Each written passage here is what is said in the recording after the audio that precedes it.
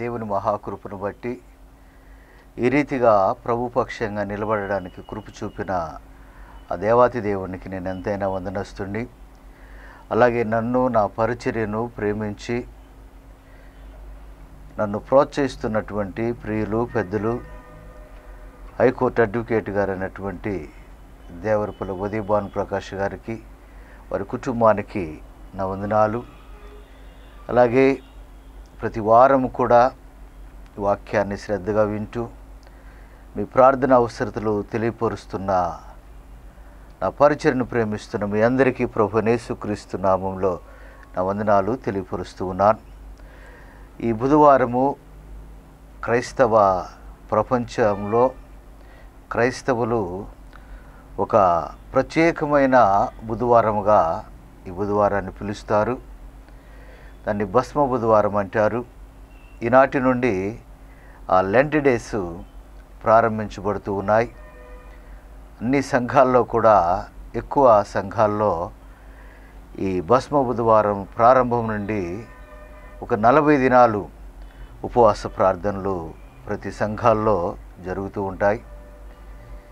ఈ ప్రత్యేకమైన ఈ భస్మ బుధవారం గురించి కొంత చరిత్ర మనం తెలుసుకోవాలనేది నా ఉద్దేశం. ఎందుకంటే ఆ ఉద్దేశము తెలియకుండా ఎవరో ఆచారక్రమంగా ఆచరిస్తూ ఉన్నారు. మనం కూడా ఆచరించాలి అని గుడ్డిగా ఆచరించినందువలన ప్రయోజనం లేదు. అసలు ఎందుకు ఈ లెంట్ డేస్ ప్రారంభిస్తారు? ఎందుకు ఈ లెంట్ డేస్లో ఉపవాసాలు ఉంటారు ఎందుకు ఈ లెంటి డేస్లో ఓ ప్రత్యేకమైన ఆహారపు అలవాట్లు కలిగి ఉంటారు? ఓ ప్రత్యేకమైన వస్త్రధారణ కలిగి ఉంటారు? ఇది వాక్యానుసారమా వాక్యానికి విరుద్ధమా? ఇది చేయటం మంచిదా చేయకపోవటం మంచిదా? ఇవన్నీ కూడా కొంత ఆలోచన చేసి ఒక నిర్ణయం తీసుకుంటే బాగుంటుంది అని ఒక సేవకుడిగా నేను మనవి చేస్తూ ఉన్నాను. ప్రియ దేవుని బిడలరా ఈ భస్మ బుధవారము లేదు ఈ లెంట్ డేస్ అనేవి సృష్టి ప్రారంభంలో లేవు క్రీస్తుకు పూర్వం లేవు క్రీస్తు పరిచర్య ప్రారంభంలో లేవు. అలాగే సంఘ ప్రారంభ దినాల్లో కూడా ఈ లెంట్ డేస్లు అనేవి లేవు అనే విషయాన్ని మనం గమనించాలి.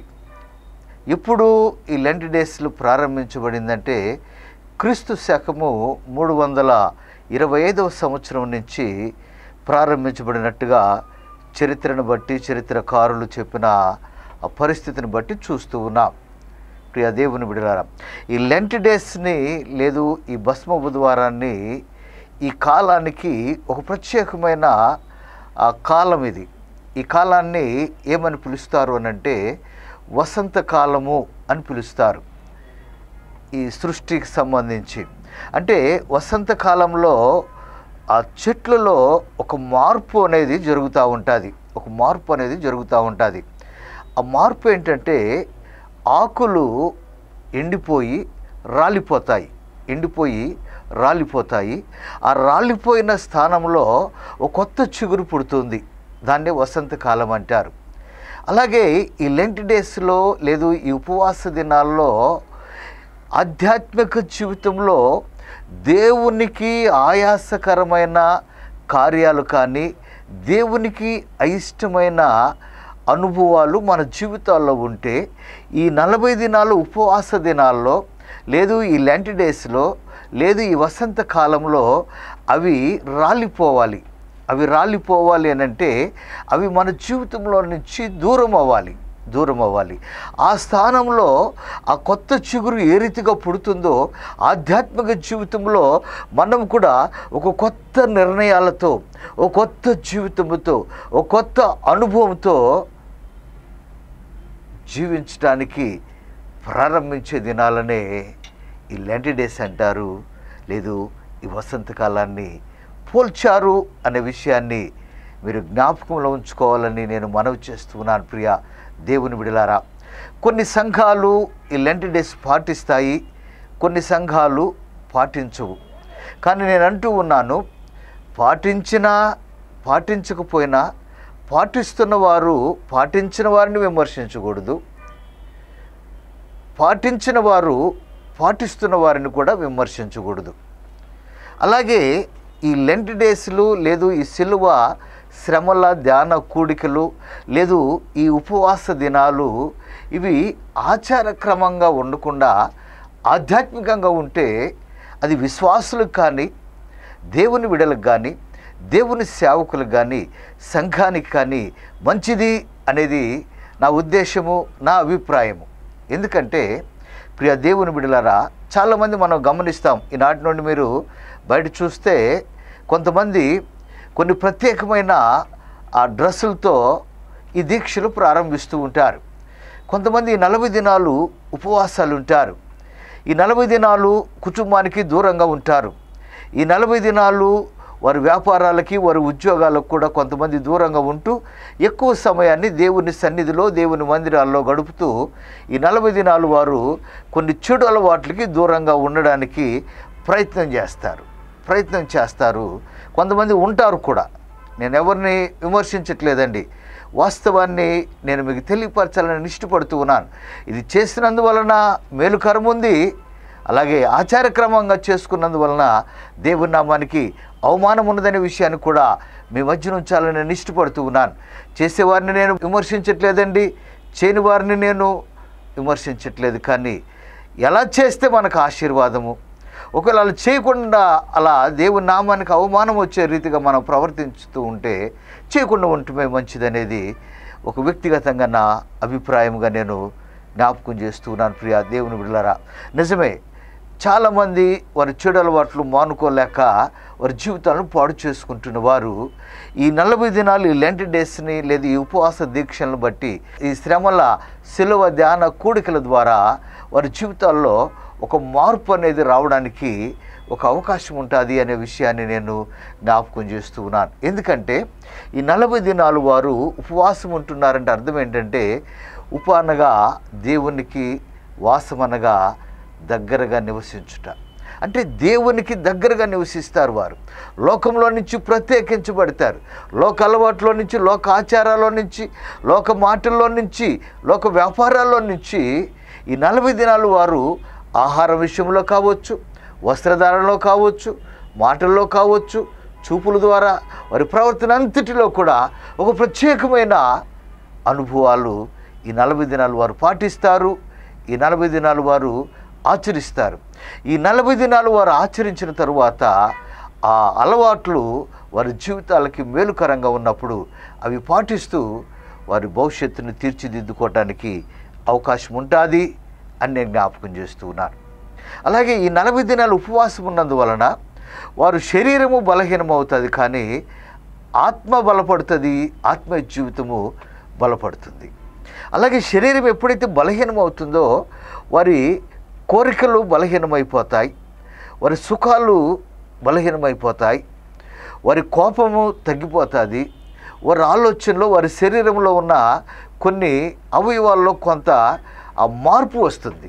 వారిలో ఒక శాంతము లేదు ఒక తగ్గింపు జీవితం ఒక క్షమాపణ ఒక ప్రేమ ఇవన్నీ ఒక కొత్త ఆ అనుభవాలకి ఈ నలభై దినాల్లో ఆ వ్యక్తులు వస్తూ ఉంటారు అనే విషయాన్ని కూడా నేను జ్ఞాపకం చేస్తున్నాను కానీ ఇక్కడ మనము జ్ఞాపకం చేసుకోవాల్సినది పరిశీలన చేయవలసింది హెచ్చరించుకోవాల్సిన మాట ఒక మాట ఉన్నది. ప్రియ దేవుని బిడలరా వాక్యం వింటున్న వారిలో కొంతమంది ఉపవాస దీక్షలు తీసుకున్న వారు కూడా ఉండొచ్చండి. నేను మిమ్మల్ని అభినందిస్తూ ఉన్నాను మిమ్మల్ని బలపరుస్తూ ఉన్నాను. కానీ ఈ నలభై దినాలు తరువాత మీ జీవితంలో ఒక మార్పు కలగాలి. ఒక మంచి మార్గంలో మీరు ప్రయాణం చేయాలి. అలా కాకుండా ఈ నలభై దినాలు పూర్తయిపోయిన తర్వాత మళ్ళీ ఈ నలభై దినాల్లో ఏదైతే తినకుండా ఉన్నామో ఏదైతే మాట్లాడకుండా ఉన్నామో ఏదైతే దేవునికి ఆ తీసుకోకుండా నిష్ఠగా ఉన్నాము. ఈ నలభై దినాలది మొత్తము ఆ దీక్షలు అయిపోయిన తర్వాత మళ్ళీ ప్రారంభిస్తే దానివలన దేవుని నామానికి అవమానం వస్తుంది. దానిని బట్టి దేవుని నామము దూషించబడుతుంది. అటువంటప్పుడు ఈ దీక్ష తీసుకోకుండా ఉండటమే మంచిది. నువ్వు ఆ డ్రెస్సులు వేసుకొని ఒక ప్రత్యేకంగా నేను ఉపవాసం ఉన్నాను నేను మారాను మంచి మార్గంలో నడుస్తున్నాను లోకానికి నమ్మించి మరలా పాత జీవితానికి వెళ్తే దాని ద్వారా దేవుని నామానికి అవమానం వస్తుంది. అలాగే నీ మీద సమాజంలో సంఘంలో ఒక చులకనైన అభిప్రాయం వస్తుంది. నిలకడలేని జీవితము. ఇది ఆరాధన ఇది ఆ నామకార్థ జీవితము ఇది మోసకరమైన జీవితం. నలభై దినాలు భక్తి మాత్రమే ఈ వ్యక్తిలో ఉంది అని మనం కూడా చులకనవుతాము అనే విషయాన్ని నేను జ్ఞాపకం చేస్తున్నా. ఈ దీక్షలో నువ్వు ఏదైతే విడిచిపెడుతూ ఉన్నావో అది మరలా నీ జీవితంలోకి రాకుండా నువ్వు చూసుకోవాలి.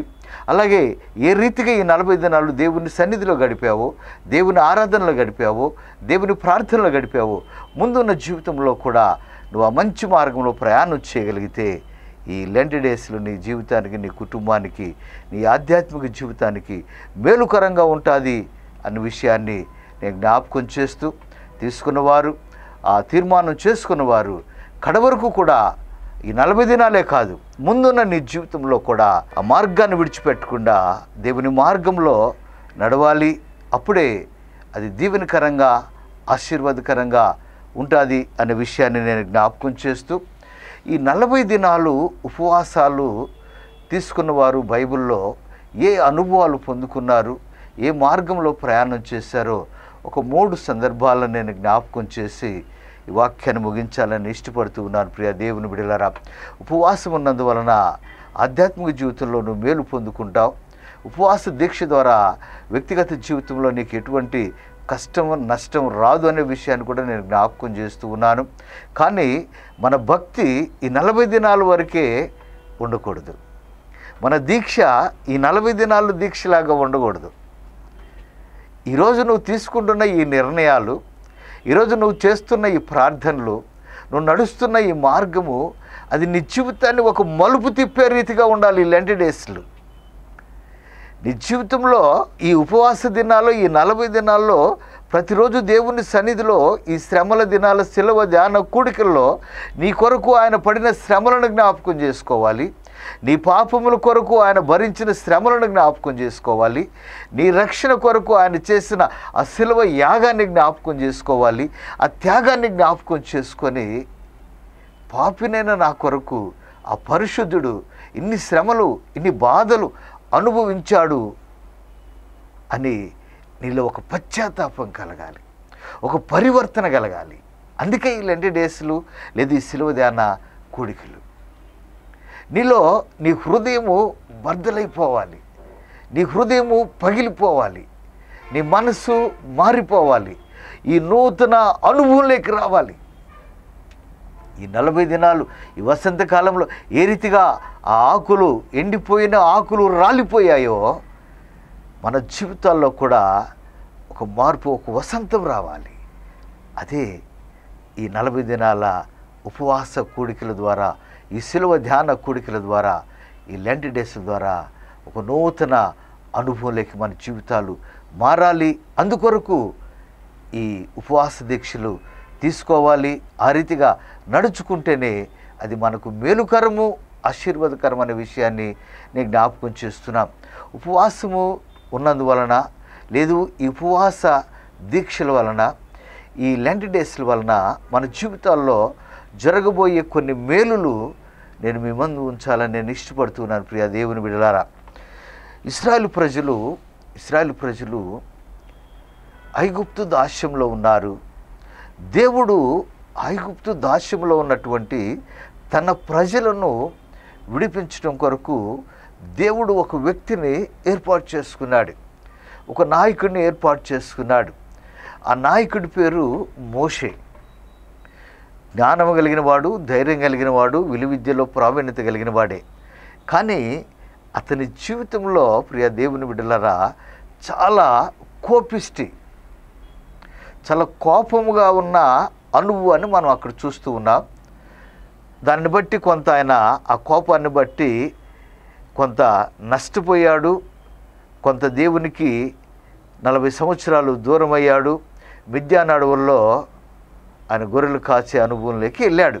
అది మీకు అందరికీ తెలుసు. కానీ ఇక్కడ ఏ నాయకుడైతే ఆ ప్రజలను విడిపించడానికి దేవుడు ఎన్నుకొని నడిపిస్తూ ఉన్నాడో ఆ నాయకుడికి ఒక అధికారము దేవుడు ఇవ్వటం కొరకు ఆ ప్రజలకి ఒక చట్టాన్ని ఒక లా ధర్మశాస్త్రాన్ని ఇవ్వడానికి ముందుగా దేవుడు మోషేను పరిశుద్ధపరిచినట్టుగా చూస్తూ ఉన్నాం. అతను శరీరంలో ఉన్నటువంటి ఆ కోపము కానీ లేదు ఆ అనుభవాలన్నీ కూడా రాలిపోవడానికి దేవుడు ఒక ప్రణాళికను సిద్ధపరిచినట్టుగా మనం చూస్తూ ఉన్నాం.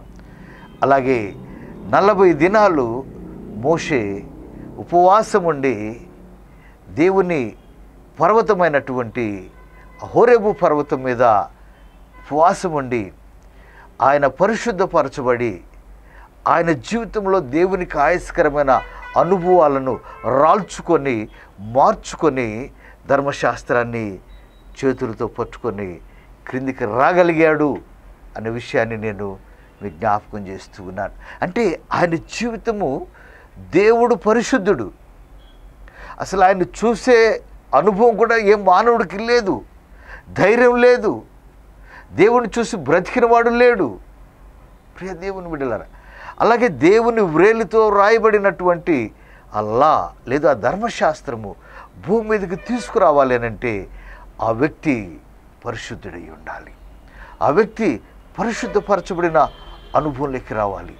ఆ వ్యక్తిలో ఉన్న ఆ దేవునికి ఏదైనా ఒక అనుభవాలు అవి రాలిపోయిన అనుభవంలోకి రావాలి. ఒక క్రొత్త జీవితంలోకి రావాలి ఒక క్రొత్త అనుభవంలోకి రావాలి. ఓ పరిశుద్ధపరచబడిన అనుభవంలోకి వచ్చిన తర్వాతనే ఆ కార్యము జరుగుతుంది. దాని కొరకు మోషే నలభై దినాలు అన్నపానములు పుచ్చుకోకుండా ఆ కొండ మీద ఉన్నట్టుగా పరిశుద్ధ గ్రంథంలో చూస్తున్నాం మీరు చూడండి.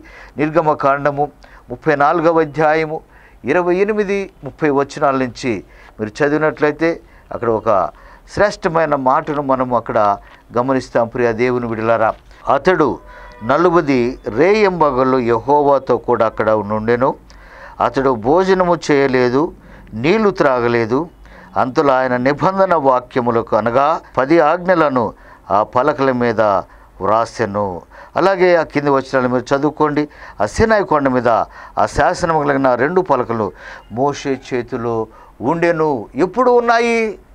ఆ ధర్మశాస్త్రాన్ని ఎప్పుడు ముట్టుకోగలిగాడు? ఆ ధర్మశాస్త్రాన్ని ఎప్పుడు తాకగలిగాడు? అంటే నలభై దినాలు ఉపవాసం ఉన్నాడు. నలభై దినాలు అన్నపానములు పుచ్చుకొనలేదు అని అక్కడ రాయబడి ఉంది. నలభై దినాలు ఉపవాస దీక్ష చేశాడు. నలభై దినాలు ఉపవాసం ఉన్నాడు. నలభై దినాలు దేవునికి సమీపంగా జీవించాడు. ఆయనలో గొప్ప మార్పును చూస్తూ ఉన్నాం. మోషే జీవితంలో ఓ గొప్ప తేజస్సును చూస్తూ ఉన్నాం. ఓ గొప్ప వెలుగును చూస్తూ ఉన్నాం. ఓ గొప్ప మహిమను చూస్తూ ఉన్నాం. ఓ గొప్ప పరిచర్య ప్రారంభించడానికి పునాది వేసినట్టుగా చూస్తున్నాం. ఈ నలభై దినాల ఉపవాస దీక్షల ద్వారా ధర్మశాస్త్రము భూమి మీదకి రావడానికి ఒక వ్యక్తిని దేవుడు వాడుకున్నాడు అనే విషయాన్ని ఒక సేవకుడిగా నేను మనవి చేస్తూ ఉన్నాను. వాక్యం ఇచ్చిన దేవుని బిడలారా అలాగే ఈనాటి నుండి నలభై దినాలు ఉపవాస దీక్షలు తీసుకోవటానికి సిద్ధపడిన ప్రియా దైవ జనాంగమా? నేను మనవి చేస్తూ ఉన్నాను. ఈ నలభై దినాల్లో మోషే జీవితంలో ఎటువంటి మార్పు జరిగిందో మోషే ముఖము ఏ రీతిగా తేజరెళ్ళిందో నీ జీవితంలో కూడా ఈ నలభై దినాలు ఉపవాస దీక్షల్లో అటువంటి గొప్ప మహిమ నువ్వు పొందుకోవాలి. అటువంటి మార్పు మన జీవితాల్లో చూడాలి. అటువంటి వెలుగుతో మనము నింపబడిన అనుభవంలో ఉండి ఆ ధర్మశాస్త్రం అనేటువంటి లేదా ఆ పదాజ్ఞల పలకలు ఆ ముట్టుకుండే ఆ పరిశుద్ధతలోకి మోసే మార్చబడిన రీతిగా మనం కూడా ఈ పరిశుద్ధ గ్రంథాన్ని ముట్టుకొని ఈ పరిశుద్ధ గ్రంథాన్ని చదివి ఈ పరిశుద్ధ గ్రంథం జీవితం అన్వయించుకొని పరిశుద్ధులుగా జీవించడానికి ఈ నలభై దినాల ఉపవాస దీక్షలు నీ జీవితంలో మేలుకరంగా ఉండాలి అని సేవకుడిగా నేను ప్రార్థన చేస్తున్నాను ఆశపడుతూ ఉన్నాను. మార్పు లేకుండా నువ్వు ఎన్ని ఉపవాస దీక్షలు చేసినా ఉపయోగం లేదు. నువ్వెన్ని డ్రెస్సులు మార్చినా ఉపయోగం లేదు. నువ్వు ఈ నలభై దినాల తరువాత కూడా నీ జీవితం ఇలాగే ఉండాలా? ఈ నలభై దినాల్లో నువ్వు ఏ రీతిగా భక్తి కలిగి ఉన్నావో ఏ రీతిగా భయం కలిగి ఉన్నావో ఏ రీతిగా ప్రార్థనలో గడిపావో ఏ రీతిగా దేవునికి సమీపంగా గడిపావో ఏ రీతిగా దేవుణ్ణి ఆరాధించావో ఇతరులతో ఏ రీతిగా సమాధానంగా మెలిగావో ఇతరులను ఏ రీతిగా ప్రేమతో చూసావో ఇతరుల పట్ల కోపం లేకుండా శాంతంతో సమాధానంతో ఎలా నడుచుకున్నావో ఈ నలభై దినాలు. మిగిలిన నీ జీవితకాలం కూడా అలా నడుచుకోవాలనేది దేవుని ఆశ దేవుని ప్రణాళిక అయ్యున్నది అనే విషయాన్ని నువ్వు జ్ఞాపకం చేసుకొని మోషే జీవితంలో ఈ నలభై దినాల ఉపవాస దీక్ష ద్వారా ఆయన జీవితంలో జరిగిన ఆ గొప్ప అనుభవంలోకి నీవు నేను రాగలిగితే ఈ ఉపవాస దీక్షల ద్వారా నీకు మేలు నీ కుటుంబానికి మేలు నీ సంఘానికి మేలు అనే విషయాన్ని జ్ఞాపకం చేస్తున్నాం. అలాగే నలభై దినాలు ఉపవాసం ఉన్న మరొక వ్యక్తిని మరొక దైవ సేవకుని మనము పరిశుద్ధ గ్రంథంలో చూస్తాం. ఆయన రోషం కలిగిన ప్రవక్త ఏలియా ప్రవక్త. ఏలియా ప్రవక్త దేవుని కొరకు రోషం కలిగి జీవించాడు పౌరుషం కలిగి జీవించాడు యజ్బేలను ఎదిరించాడు. బయలుదేవతలను ప్రవక్తలను ఎదిరించి పౌరుషంగా పరిచయం చేశాడు. దేవుని చేత బలంగా వాడబడ్డాడు అద్భుతాలు చేశాడు ఆశ్చర్యకార్యాలు చేశాడు. ప్రియ దేవుని ఆయన ప్రార్థించినప్పుడు ఆకాశం మూయబడింది. ఆయన ప్రార్థించినప్పుడు వర్షం భూమి మీదకి వచ్చింది కాకుల చేత పోషించబడిన దైవ సేవకుడు. ప్రియ దేవుని బిడ్డలరా అంత గొప్ప అనుభవం కలిగిన ఆ ప్రవక్త రోషం కలిగిన ప్రవక్త చిన్న సమస్యలో యజుబేలుకు భయపడి యజుబేలు ప్రతిజ్ఞకు భయపడి మదరి వృక్షం కింద కూర్చొని మరణాపేక్ష కలిగి ప్రార్థన చేస్తా ఉన్నాడు. ఇక నాకు ఈ సేవ చాలయ్యా. ఈ పరిచర్య చాలు. ఎన్నో శ్రమలు పడ్డాను ఎన్నో కష్టాలు పడ్డాను ఎన్నో అవమానాలు పడ్డాను నమ్మకంగా సేవ చేశాను. కానీ ఇక ముందు చేయలేనయ్యా. ఇక నా పని అయిపోయింది. నా మాట ఎవరు వినట్లేదు. అని నిరాశలో వచ్చేసాడు ప్రవక్త అనేటువంటి ఏలియా. ఈరోజున వాక్యం వింటున్న ప్రియ సేవకుడా నేను మనవి చేస్తా ఉన్నాను ఈ లెండి డేస్లో. సేవకులు కూడా చాలామంది నిరాశలో ఉండొచ్చు. చాలామంది ఓడిపోయిన అనుభవాల్లో ఉండొచ్చు. అవమానాల నిందల్లో ఉండొచ్చు. సంఘస్థులు మనల్ని అర్థం చేసుకునే పరిస్థితులు ఉండొచ్చు. మనల్ని ప్రేమించిన వారే మనల్ని ద్వేషించవచ్చు మన సేవలో ఉన్నతమైన అనుభవాలకు వెళ్ళిన వారే ఈరోజున వయసు అయిపోయిందనో జ్ఞానం తగ్గిపోయిందనో మా పాస్టర్ గారు ఎప్పుడు చెప్పిన వాక్యమే చెప్తున్నాడని అంటున్నారని ఒకవేళ నువ్వు సేవలో నిరాశలో ఉంటే ఈ నలభై దినాల్లో నువ్వు బలం పొందుకొని ఏలియాలాగా గొప్ప పరిచర్య చేయాలని దేవుడి నలభై దినాలు ఆ మరణాపేక్ష కలిగిన ఏలియాతో దేవుని ఆత్మ దేవుని దూత మాట్లాడుతూ ఉంది. ఇదిగో నిప్పులు అక్కడున్నాయి. అప్పం అక్కడ ఉంది అక్కడుంది. అక్కడ ఉంది అవి భోజనం చేసి బలం పొందుకో. కారణం ఏంటంటే నలభై దినాలు నువ్వు ఉపవాసం ఉండి దేవుని దగ్గరికి నువ్వు వెళ్ళాలా? దేవుని స్వరం నువ్వు వినాలా? మరొక పరిచర్య దేవుడు నీ ద్వారా జరిగించుకోబోతున్నాడు. అనేక మంది సేవకులను తయారు చేయాలా? అనేక మంది ప్రవక్తలను నువ్వు అభిషేకించాలా? ఎవరు దాని అనేది దాటాలి? ఎరికో అనుభవాలు దాటాలి. ఈ అనుభవాలు దాటాలంటే నీకు బలం కావాలి. ఏ బలము? శారీరక బలం కాదు. ఆత్మీయ బలం కావాలి. కాబట్టి నలభై దినాలు నీ ముందు ఉపవాస దినాలు నేను ఉంచుతున్నానని దేవుని స్వరం ప్రవక్తతో మాట్లాడినట్టుగా చూస్తున్నాం. అలాగే నలభై దినాలు ఉపవాసం ద్వారా దేవుని స్వరం విన్నాడు. దేవుని పరిచర్యలో ఒక గొప్ప పరిచర్య ప్రారంభించాడు దైవ సేవకుడైనటువంటి ఏలియా. నలభై దినాలు ఉపవాసం ఉంటే శరీరం బలహీనమైంది కానీ ప్రవక్త ఆత్మ బలపడింది. ఈరోజున నిరాశలో ఉన్న ప్రియ సేవకుడా నిరాశలో ఉన్న ప్రియ విశ్వాసి ఈ లెంటి డేస్లో నువ్వు దేవుని ఉపవాసం ఉండి ఆధ్యాత్మిక జీవితంలో నువ్వు బలం పొందుకో. దేవుని స్వరమేను దేవుని సేవకుడు స్వరమేను వాక్యమేను ఆత్మీయంగా బలపడు. దేవుడు నిన్ను వాడుకుంటాడు. దేవుడు నిన్ను వాడుకుంటాడు. దేవుడు విడిచిపెట్టే దేవుడు కాదు. పరిస్థితులకు అనుకూలంగా ఉన్నా లేకపోయినా ఎవరు నిన్ను ప్రేమించినా ప్రేమించకపోయినా ఎవరు నిన్ను వెంబడించినా వెంబడించకపోయినా ఆధ్యాత్మిక జీవితంలో నిన్ను బలపరిచి అని సేవలు వాడుకుంటాడు. ఆ వాక్యం ఇచ్చిన ప్రియ దేవుని సేవకుడా ప్రియ విశ్వాసి ఈ నలభై దినాలు ఆధ్యాత్మికంగా ఉపవాసంలో ఆత్మను పొందుకోండి బలమును పొందుకోండి ప్రభు కొరకు బలమైన కార్యాలు చేయండి. దేవుడు మిమ్మల్ని కుటుంబాలని దీవించునుగా తలలు వంచండి. ప్రార్థన చేసుకుందాం. పరిశుద్ధుడా మీ పాదాలు కొందనాలు స్తోత్రాలయ్యా. మళ్ళా మరొక లెండి డేస్లో నాయన మమ్మల్ని నువ్వు ప్రవేశపెట్టావు. మీ కొందనాలు స్తోత్రాలు. అనేక మంది విశ్వాసులు అనేక మంది అయ్యా దైవ జనాంగము. ఈ రోజున తండ్రి దీక్షలు తీసుకొని నలభై దినాలు పాత జీవితాన్ని విడిచి నూతన ఆ మార్గంలో నడవడానికి నైనా దీక్షలు తీసుకున్నారు. మంచిది నాయన. వారిని దీవించండి వారిని బలపరచండి. ఈ నలభై దినాలు శరీరాన్ని బలహీనపరుచుకొని ఆత్మను బలపరుచుకుంటూ లోకానికి దూరంగా మీకు సమీపస్తులుగా జీవించడానికి సహాయం చేయండి.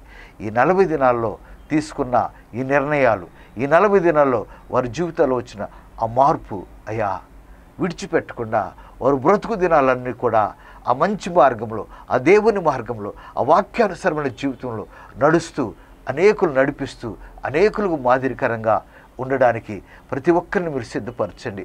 అయ్యా ఇదేదో నామకార్థంగా ఎవరో చేస్తున్నారని మేము చేస్తూ ఈ నలభై దినాలు అయిపోయిన తర్వాత మళ్ళీ పాత అలవాట్లకి పాత జీవితాలకి వెళ్ళి నాయన వారి జీవితాలు పాడు చేసుకుంటూ మీ నామానికి అవమానం తెచ్చే కార్యాలు ఎవరి మనసులో అటువంటి తలంపులు రాకుండా సహాయం ఇచ్చేయమని వీళ్ళందరినీ బలపరచమని ఏ బలహీనతలు రాకుండా సహాయం ఇచ్చేయమని ఈ నలభై దినాల ఉపవాస దీక్షల ద్వారా సాతాను జయించే శక్తిని బిడ్డలకు అనుగ్రహించి సహాయం ఇచ్చేయమని సంఘాలను బలపరచమని మీ నామ మహిమార్థం మాత్రమే నాయన ఈ శిలవ ధ్యాన కోడికలు జరగడానికి సహాయం ఇచ్చేయమని వాక్యం వింటున్న ప్రియ బిడ్డలని బలపరచండి ధైర్యపరచండి అయా ఆధ్యాత్మిక జీవితంలో బలవంతులుగా చేసి మీ పరిచయలో వాడుకొని సహాయం చేయమని అలాగే మా పరిచయను ప్రోత్సహిస్తున్నటువంటి ప్రతి ఒక్క దైవ సేవకుడిని అలాగే నాయన మరి భానుప్రకాష్ గారు ఆయన కుటుంబాన్ని కూడా దీవించి ఆశీర్వదించి సహాయం చేయమని ఏసునామం అడుగుచున్నాము తండ్రి. Amen amen. తండ్రి అయిన దేవుని ప్రేమ కుమారుడైన యేసుక్రీస్తు కృప పరిశుద్ధ ఆత్మ నిర్ణయ సహవాసము. వాక్యం ఇంటిన ప్రియ స్పాన్ చేసిన భానుప్రకాష్ గారికి వారి కుటుంబానికి నడిపిస్తున్న నడిపిస్తున్న సంచాలసిన సదాకాలము తోడే ఇండును గాక ఆమెన్ ఆమెన్ ప్రైస్తలా